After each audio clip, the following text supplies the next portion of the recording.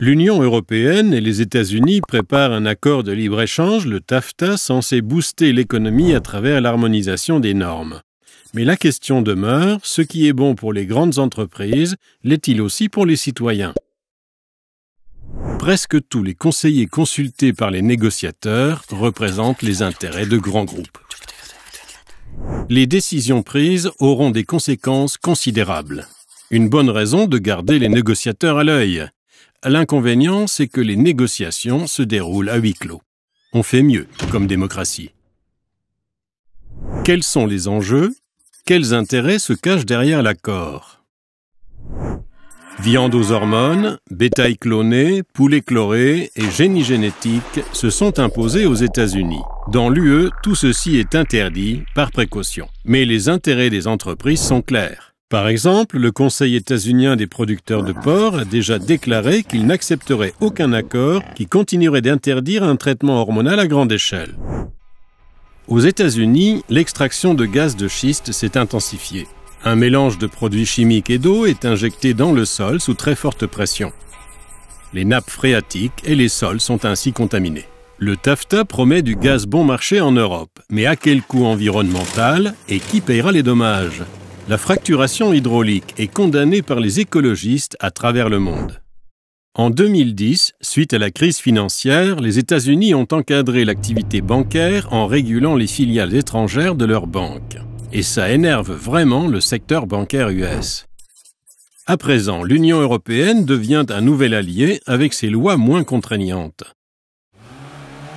La régulation des banques est de nouveau en jeu et les quelques acquis sont menacés des deux côtés de l'Atlantique. Aux États-Unis, le droit du travail et le droit syndical sont plus faibles qu'en Europe. Élections professionnelles et droit de mener des négociations collectives n'existent pas ou sont bafoués.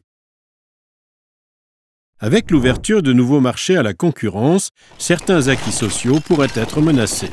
Le règlement des différents dits investisseurs-États représente aussi une menace sérieuse. Si la réglementation d'un État va à l'encontre des bénéfices d'une entreprise, celle-ci pourra l'attaquer pour obtenir un dédommagement, et ce, aux frais des contribuables.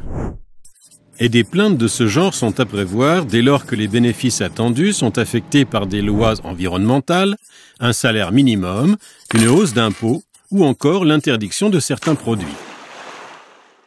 Ceci est d'autant plus problématique que les plaintes ne seront pas portées devant un tribunal ordinaire, mais devant un tribunal d'arbitrage. Composé de trois avocats, ces décisions sont contraignantes en matière de droit international.